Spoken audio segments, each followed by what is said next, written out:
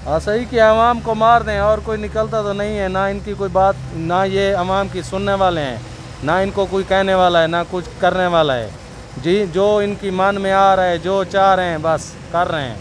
ना हुकूमत है, ना नाम है, किसी चीज़ का कुछ भी नहीं है, यकीन करें। क्या करे गरीब? ना खाने को है, ना पीने को है। तो खून मारा जी, आखिरी दफ़ा इनकी हुकूमत जाने वाली है। इनके पास दस पंद्रह दिन रह गए हैं। गरीब आवाम का किसी को ख्याल नहीं है, अपनी याशियाँ ख़त्म नहीं कर रहे। इनका ए, देख लें आप ए सी डी सी एक ऑफिसर हैं सरकारी और इनके पास डेढ़ डेढ़ करोड़ की गाड़ियाँ हैं इनकी याशियाँ हैं। तो ये इनका तो हमें म्याजा भुगतना पड़ेगा पाकिस्तान में रह जो रहे हैं। और ये गरीब के लिए मसला है और तो कोई वो नहीं है। तो अभी जैसे अब बाइकियाँ चला रहे हो जी जी। तो लोग जैसे अभी कीमत बढ़ाई है तो लोगों से लोगे। नहीं तो तो लोग दे रहे वो तो फिर लोगों लोग से ही लेना पड़ेगा ना। नहीं देते तो नहीं है फिर वो भी यही कहते हैं कि महँगा हुआ है हमने तो नहीं महँगा किया है ना। हड़ताल करो रोड पे आओ। ने सुबह सुबह बीस रुपए पेट्रोल महँगा करके एक तोहफा दिया है आपको तो कैसा लग रहा है ये तोहफा आपको? तोहफा तो ऐसा ही लग रहा है कि बंदा किसी बाहर के मुल्क में चला जाए यहाँ पे वैसे ही पेट्रोल बहुत महँगा होता जा रहा है। और मेरे ख्याल से तो सौ रुपये से ऊपर लीटर पेट्रोल नहीं होना चाहिए। बहुत बुरा हुआ है जी बहुत बुरा। जुल्म हो गया जुल्म की इंतहा है। बीस रुपये महँगा सुबह से परेशानी जब से खबर सुनी है ना समझ नहीं आ रही क्या करें। बहुत मुश्किल लग रहा है बिल बिल बहुत ज़्यादा आएँगे अभी बिजली के। ये तो पेट्रोल महँगा बिल बहुत ज़्यादा आएँगे। हमें तो अभी पता चला है कि पेट्रोल महँगा हो गया है तो हमें तो रात को ये सुना था कि पेट्रोल सस्ता हो रहा है। तो ये एक किस्म की नाइंसाफ़ी है तो पेट्रोल को सस्ता करना चाहिए। बाकी इस वक्त मुल्क में मिसाइल तो बहुत ज़्यादा हैं लेकिन गवर्नमेंट को इस वक्त जो पैसे आए अपना जो याशी हैं वो छोड़ के जो है वो अवाम के लिए कुछ करना चाहिए। बिस्मिल्लाहिर्रहमानिर्रहीम अस्सलाम वालेकुम मैं हूँ बुशरा सदीकी और आप देख रहे हैं मेरा यूट्यूब और फेसबुक चैनल आज से तकरीबन दो सवा दो साल पहले मरियम नवाज़ फजल रहमान और बिलावल भुट्टो को अवाम का शदीद दुख महसूस होना शुरू हो गया था। उन्हें लगा था कि ये महँगाई तो अवाम की कमर तोड़ देगी। इनको जो है, वो एक बेचैनी की आग में और जो माशी प्रॉब्लम्स हैं, उनमें ये घसीट देगी और इन्होंने फैसला किया कि वो महँगाई मुकाओ मार्च लेकर इस्लामाबाद आएँगे। अब कौन कौन उनके सहूलतकार थे? किस किस ने उनको ये आइडिया दिया था कि आप ये मार्च करें? और ये गिराई जाए यानी कि एक एजेंडा था इस इमरान खान की हुकूमत के ख़ात्मे का और वो था महँगाई। और आज मुल्क के वसी तर मफाद में इसहाक डार खान साहब ने बीस रुपये पेट्रोल महँगा कर दिया। अब आवाम नहीं है कहीं पे भी। अब जो है ना महँगाई है और ना ही बेचारी आवाम की कमर टूट रही है। मरियम बीबी भी बहुत खामोश हैं, पुरसकून हैं कि जी, अब आवाम में महँगाई का नामो निशान नहीं है क्योंकि उन्हें यकीन हो चला है कि अब आवाम ही नहीं बचेगी तो महँगाई कहाँ से होगी? ये लोग गरीब, गुर्बत नहीं मिटाते, ये गरीब मिटाते हैं। तो इन्होंने कहा है, आहिस्ता आहिस्ता गरीब मिटा दो, गुर्बत खुद ब खुद ख़त्म हो जाएगी। और यही एजेंडा लेकर शायद ये लोग काम कर रहे हैं। क्योंकि हमने तो हमेशा से जो भी हमारी पिछहत्तर साल तारीख रही है, या हमने जो इलेक्शन कंपेन्स देखी हैं। उनमें यही देखा है कि जब भी कोई हुकूमत होती है, वो जाने वाली होती है और उसको पता होता है कि थोड़े अरसे बाद उसने इलेक्शन में जाना है तो वो ऐसे इकदाम नहीं लेती। लेकिन ये हुकूमत दिन दहाड़े जो है, पेट्रोल महँगा कर देती है, डॉलर आसमान से बात कर रहा है। उसके बावजूद ये बड़ी पुरसकून है, निगरान सेटअप पर बात कर रही है। तो क्या इसका मतलब ये हुआ कि बंद कमरों के फैसले जो हैं, वो पाए तकमील को पहुँचने जा रहे हैं? डिसाइड हो चुका है कि आवाम जो मर्ज़ी चाहे कर ले, जिस मर्ज़ी पर ठप्पा लगा ले, जो शोर मचा ले, सोशल मीडिया में आवाज़ें उठा लें, हमने जो करना है वो करके रहना है यानी कि अगली हुकूमत किसकी होगी?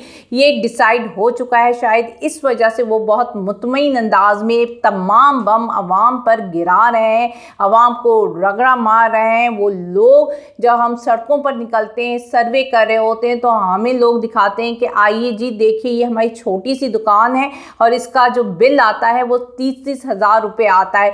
मतलब बारह रुपये यूनिट जो था बिजली का, वो बहुत महँगा था, लेकिन पचास रुपये से ऊपर जो पर यूनिट है बिजली का वो सस्ता है। इसी तरह पेट्रोल उस वक्त बहुत महँगा था, लेकिन अब जो बीस रुपये बढ़कर पेट्रोल की कीमत हुई है, वो तो बड़ा ही मामूली इंक्रीमेंट है। इससे कोई भी फ़र्क नहीं पड़ेगा, बल्कि सागडार साहब तो कह रहे हैं कि मीशत और मज़बूत होगी, वो तो रोज़ाना आकर क्रेडिट भी ले रहे हैं। देखा स्टॉक एक्सचेंज कैसे ऊपर जा रही है। अब सवाल तो यहाँ पर ये भी पैदा हो रहा है कि एक तरफ़ आप पेट्रोल की कीमतें बढ़ा रहे हो, एक तरफ़ आपका डॉलर भी ऊपर जा रहे हैं, लेकिन फिर स्टॉक एक्सचेंज कैसे काम कर रही है? इसका मतलब ये हुआ है कि आपने पूरी इकोनॉमी को एक आर्टिफिशियली तरीके से मैनेज कर रहे हो, एक मसनू साँसें दे रहे हो, यानी कि आपने पूरी इकोनॉमी को वेंटिलेटर पे लगाया हुआ है और ये सब कुछ किसके लिए? मुल्क का मफादात तो इसमें हो ही नहीं सकते, क्योंकि जिस तरह आप आर्टिफिशली चल रहे हो, जिस तरह जो रियल मार्केट एलिमेंट्स अपने जिसे कहते हैं ना, वो प्ले कर लें तो आपकी तो पूरी इकोनॉमी बैठ जाएगी। तो इसका मतलब ये हुआ कि सारे आप अपने मफादात के लिए सारी गेम्स बिछा रहे हो। आपको कहीं से श्योरिटी मिल गई कि आपने जो मर्ज़ी करना है आप कर लो। अगली हुकूमत भी आपकी है। आप फस्तायत का राज कायम कर लो, आप घसीट लो, जो मर्ज़ी कर लो, झूठे मुकदमात पेश कर दो, औरतों को पकड़ के कर लो, जो मर्ज़ी आप कर सकते हो, आप कर लो। अब आप ये देख लें कि अभी छुट्टियाँ हैं, लेकिन फिर भी इमरान खान के केसेस जो हैं, वो चल रहे हैं। आज भी एक केस चल रहा है, वही तोशा खाना, जिसे पहले नाकबिल समात करार दिया गया, फिर उसको काबिल समात करार दिया गया, और वो एक नहीं, कई कोर्ट में वो केसेस चल रहा है, और कल दिलावर साहब जो हैं जज मोज़ जज साहब वो बजिद हो गए थे कि जी इमरान खान जो है वो ही आज अपना तमाम कलम बंद करवाएँगे जवाब। लेकिन इमरान खान ने कहा कि मुझे आज ही तो सवाल मिले मैं कैसे करवाऊँगा? फिर समात मुलतवी हुई और अब तक की रिपोर्ट के मुताबिक इमरान खान जो हैं वो आ, कलम बंद करवा रहे थे अपना बयान। लेकिन एक तरफ़ वो कोर्ट में, ट्रायल कोर्ट में अपना जवाब कलम बंद, अपना बयान कलम बंद करवा रहे हैं तो दूसरी तरफ़ उसी कोर्ट के बाहर खारदार तारें लगाई जा रही हैं। उसी कोर्ट के बाहर से बाल पकड़कर खींचे जा रहे हैं सहाफ़ी और उनको पकड़ा जा रहा है। आखिर क्यों?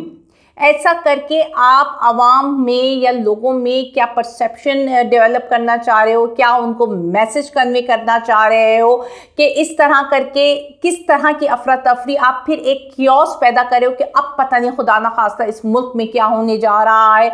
आप लोग इमरान खान को माइनस करने की पूरी कोशिश कर रहे हो, लेकिन इमरान खान माइनस नहीं हो रहा। तो आपने सोचा क्यों ना आवाम को ये माइनस कर दिया जाए। पूरे सिस्टम में से वो जो उसके फंडामेंटल वाइट्स हैं, उन्हीं पर जब लगा दी जाए। तो मैं तो ये कहूँगी कि इलेक्शन में जो आप लोग इतने पैसे खर्च करोगे और इतना सारा आवाम को, पूरे मुल्क को दो दिन की छुट्टी भी करवा दोगे, या सुबह से शाम तक इतनी बड़ी एक्सरसाइज करवाओगे, लोगों को घरों से निकलवाओगे, उनसे वोट करवाओगे तो आप उसके बावजूद भी लोगों के वोट तो काउंट नहीं होंगे ना। हमने सुना था, पढ़ा था, जमहूरियत होती है, जिसमें बंदों को जो है गिना नहीं करते तोला नहीं करते, गिना करते हैं, लेकिन यहाँ पे बंदों को तोला जा रहा है। हम पिछले दो साल से जब से ये रिजीम चेंज हुआ है, हम यही देख रहे हैं कि किस तरह बंदों को तोला जा रहा है। कभी वो सिंध हाउस में तोला जा रहा है, कभी वो कश्मीर की असम्बलियाँ हो जाए या गिलगित बल्तिस्तान का हवाल हो जाए। बंदे तुल रहे हैं, गिना नहीं जा रहा है। तो आप जो है, जब आपने इसी तरह करके हुकूमत लानी है तो क्यों आप पूरा जो है, पहली मुल्क जो है, जिस माशी बहरान का शिकार है, पैसे हमारे पास है ही नहीं। तो फिर एक आप एक ये बिला वजह की एक्सरसाइज करके क्यों मुल्क का पैसा और टाइम ज़ाया कर रहे हो? आप आओ और डिक्लेयर कर दो कि जी, अगला वज़ीर आज़म ये होगा, क्योंकि मुल्क की जिसे वसी तर मफादात में हमने ये फैसला किया है कि इलेक्शन करके पैसा वेस्ट ना करवाया जाए, लोगों को जहमत ना दी जाए, इसलिए हम डिसाइड कर चुके हैं, ये आपका अगले वज़ीर अजम है, ये आपका अगला वज़ीर खारजा है, ये आपका अगला वज़ीर ख़जाना है और हम जो भी फैसले करेंगे, वो हम सही करेंगे, आवाम को बर्दाश्त करना होगा, सहना होगा। बर्दाश्त नहीं कर सकती तो जैसे ख़ुदकुशियाँ है, ख़ुदकुशियाँ कर ले और अगर ख़ुदकुशी करने की हिम्मत नहीं रखती तो जिस तरह कह रहे हैं कि बारह लाख इसी साल ब्रेन ड्रेन हुआ है तो ये मुल्क छोड़कर चली जाए। Thank you so much. अल्लाह हाफिज़।